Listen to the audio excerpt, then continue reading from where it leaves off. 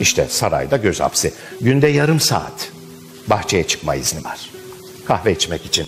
Yarım saat oda hapsinde. Selanik'ten dönüp İstanbul'a geldikten sonra. Kızı perişan vaziyette kızının çocuğu olmuş torunu Abdülhamit'e göstermek istiyor. Dedeni tanıtacak torununu.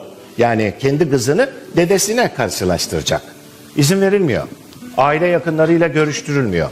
Kızı kafaya takıyor. Abdülhamit'in İstanbul Boğazı bulunduğu yerin tam karşısındaki köşkü bir şekilde ayarlıyor. Oraya bir dürbün koyduruyor ve sürekli takip ederek günün hangi saatlerinde bahçeye iniyor, oturuyor, kahvesini içiyor. İki fincan üst üste kahve içermiş. Allah yer yurdu cennet mekan olsun. Yine günlerden bir gün benim tüylerimi diken diken eder. Ben Abdülhamit'i başka seviyorum. Başka bir boyutu var onun. Merdivenlerden usul usul iniyor.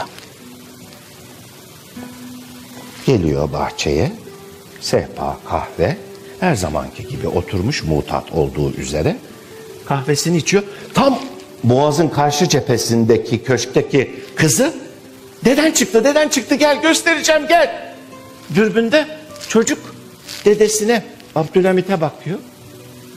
Hatıratlarda var. Dede diyor. Abdülhamit Han elindeki fincanı olduğu yere bırakır.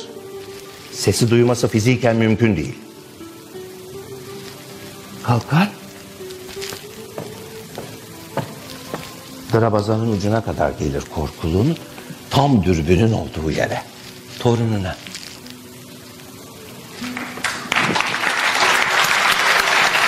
Eyvallah hocam.